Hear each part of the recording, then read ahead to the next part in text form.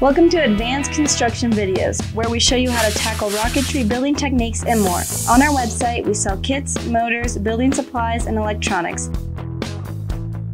So come and learn, shop, build, and fly when you visit us at apogeerockets.com. To get the rocket ready for paint, I've gone and sanded everything down and refilled any low spots with the, uh, the wood filler stuff. The wood filler stuff um, it's kind of liquidy. Um, I didn't have very, you know, big spots, so I didn't. I put some water in it to thin it out, so I could just paint it on. Um, I was paying particular attention to these um, seams right here. We remember we already put epoxy on it. I don't need to put any more epoxy on it. Uh, this stuff sands a lot easier than epoxy, so I recommend the wood filler. Um, so I did that. I did around the the, uh, the wings and the tail. Um, I did around the nose cone. I did a little bit here on the tip of the nose cone where there's the seams where the plastic comes together. I spent a lot of time trying to even this out around the, uh, the front and the rear part of the canopy um, and then along on the bottoms and on the launch lugs as well. Spend some time um, sanding and sealing and, and filling with the, with the filler. It's worth it. Because um, if you can see it and feel it, it's going to show up through the paint. Um, and so at this point, it's ready for the primer. So I use a sandable primer. Everybody asks me, what brand do I use? I think they're all crap, so I'm not going to recommend anything. Um, in the, the, the, notes on YouTube, you can discuss amongst yourselves which is the best that you like to use. Again, like I said, I think they're all they all stink because um, they, they either gum up the paper or they're too um, too thin, so they don't really have a high build to them. Um, ideally, you'd like to paint it with the primer and then sand it, um, and the primer acts like a filler and fills in any low spots. Um, that would be perfect. There are some like that. Um, if you go to automotive primers, and you, typically those are a two-part mix, and you have to spray them out of a spray gun. Um, those are the, the better ones, but I don't know what brand they are. Um, you can go down to an auto paint store, and they'll tell you which brand is probably best for you. Um, so at this point, again, it's, it's ready for priming. Um, usually what I do is I'll stick a you know something in the back so I can hold it while I'm painting.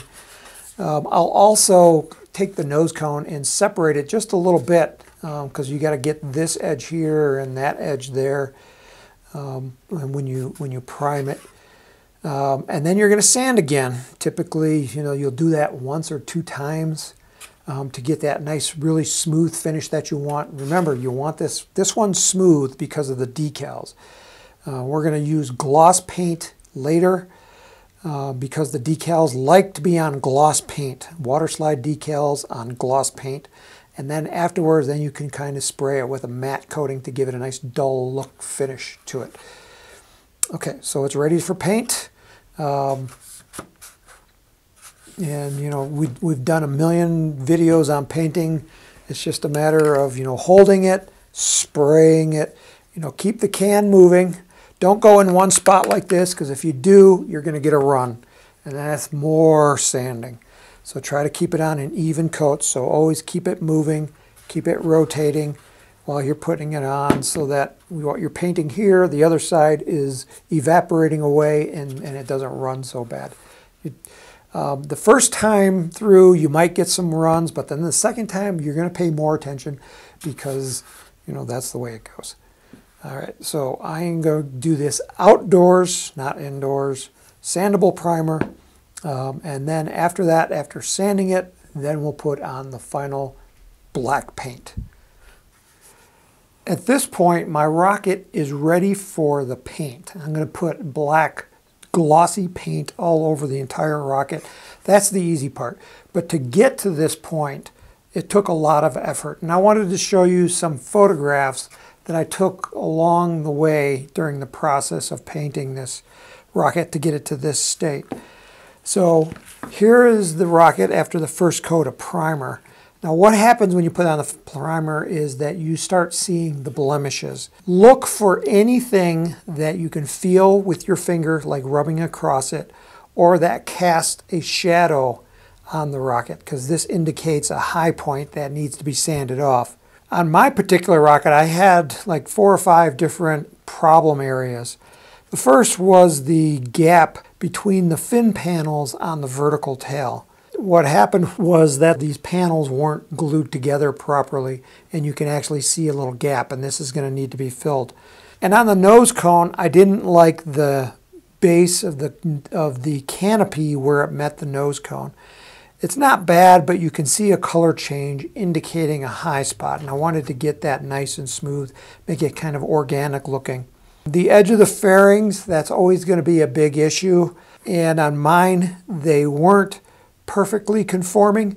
So I can see some of the shadows. Again, this indicates a high spot that needs to be sanded off.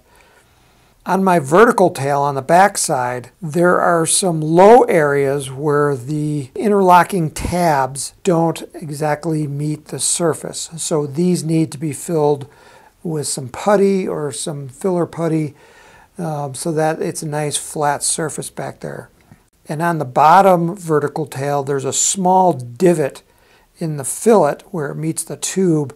And again, I want to fill this and make it look nice. So I went ahead and sanded down the rocket and you can see here that I took off approximately 80% of all the primer that I put on. Uh, going back to my problem areas, we can see the fairing edge on the cockpit. The fillet of paint is more apparent now because I've sanded down to the raw plastic on the nose cone and you can actually see that where the paint is actually filling in that low spot. The fairing along the sides of the, the tube look a lot better.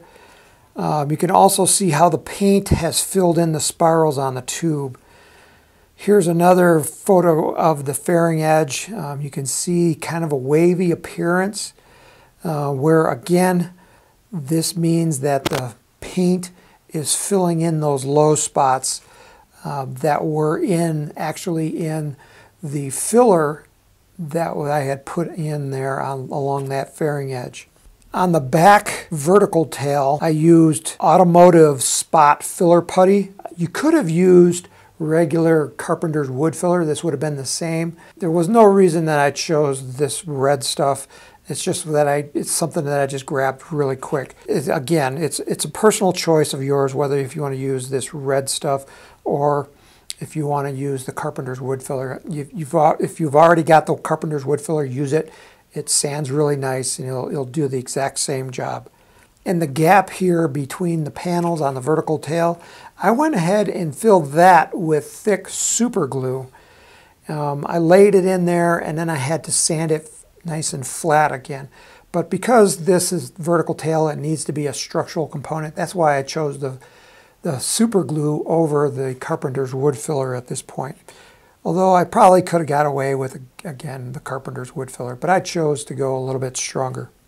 Okay, so here I've reprimed the rocket after all that sanding, and then I sanded it again with wet dry sandpaper. Um, as you can see, it's got a nice smooth appearance.